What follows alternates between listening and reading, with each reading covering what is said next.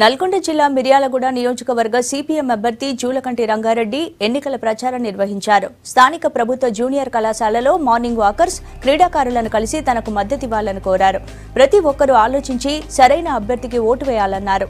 అన్ని వేళలా అందరికీ అందుబాటులో ఉండే తనను గెలిపించాలని విజ్ఞప్తి చేశారు. వాకర్స్తో కలిసి జాగింగ్ చేశారు జూలకంటి.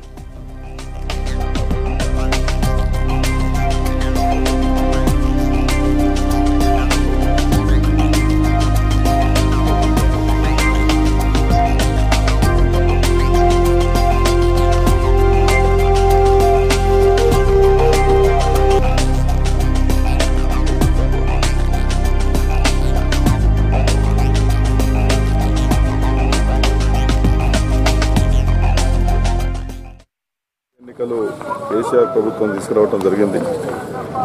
ఈ ఎన్నికల్లో ప్రతి ఓటర్ కూడా ఆలోచించి ఎవరికి ఓటేయాలి ఎవరికి వేయకూడదని చెప్పేసి ఆలోచన చేయాలి.